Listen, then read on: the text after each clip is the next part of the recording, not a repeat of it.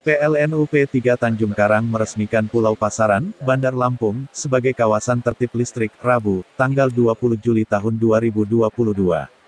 Peresmian ditandai dengan pembagian bantuan dana CSR dan pemasangan listrik gratis, serta peresmian komunitas kendaraan listrik. Wali Kota Bandar Lampung Eva Duyana menyambut baik langkah PLN tersebut. Dia berharap program PLN tersebut akan membuat Pulau Pasaran makin maju. Sementara itu, manajer PLN UP3 Tanjung Karang, Zamzani, mengatakan pihaknya menjadikan Pulau Pasaran sebagai kawasan tertib listrik serta kawasan wisata. Menurutnya, pihaknya sudah bangun trafo, jaringan, dan memperbaiki kabel listrik dari tiang ke rumah warga.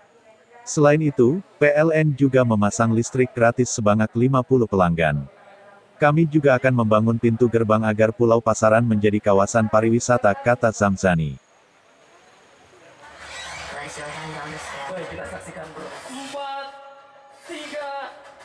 Dua, satu.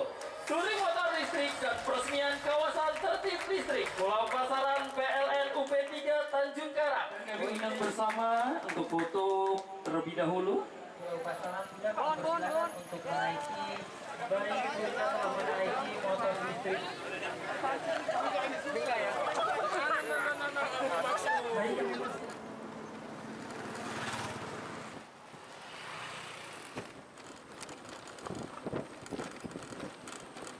apa ya lepas gas kayak langsung hilang kok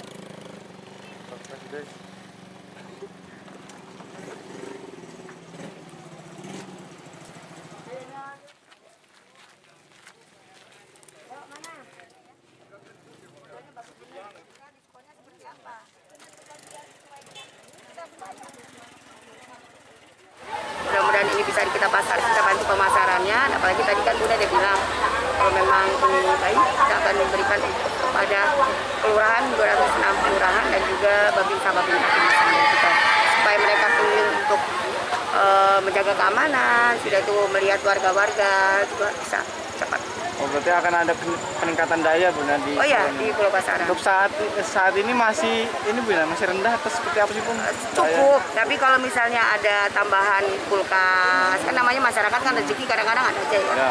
Nah takut kita mati, dan ini permintaan memang dari mereka, dari masyarakat, sini. Masyarakat. Minta penambahan daya untuk di uh, Pulau Pasaran ini. jadi masing-masing kelurahan mendapat motor listrik bu ya Iya, nanti motor listrik satu, makanya nanti Bunda mungkin makin makin diskusinya makin dalam, mungkin bersama asisten satu nanti dari OPD kita yang memang eh, bidangnya supaya membicarakan ini kalau bisa cepat rezeki kita memang ada secepatnya. Jadi kita beli jadi sekitar 226 sama 20 kecamatan untuk jadi 40 jadi sekitar 160-an gitu lebih insya Allah.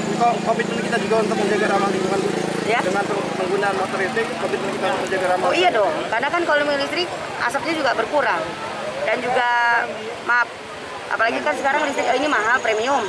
Nah dengan menggunakan listrik insya Allah, makanya mungkin kita lebih pertegas lagi, mungkin mempererat lagi eh, kolaborasi kita bersama kerjasama kita bersama PLN. Uh, kita mensupport apa yang disampaikan. Pak terkait Pak, kendaraan terkait listrik Pak, kendaraan listrik Pak ada rencana kita untuk menambah eh, lokasi untuk pengisian PKU Ya, eh, tahun ini kita akan bangun lagi tiga lokasi. Jadi di mana aja itu pak kalau sekarang kita yang sudah ada itu ada di Res Kopi, di KLU untuk mobil listrik. Kemudian eh, di eh, rest area 20B, 20B arah ke Bakau. Kemudian pas 9A arah ke Palembang.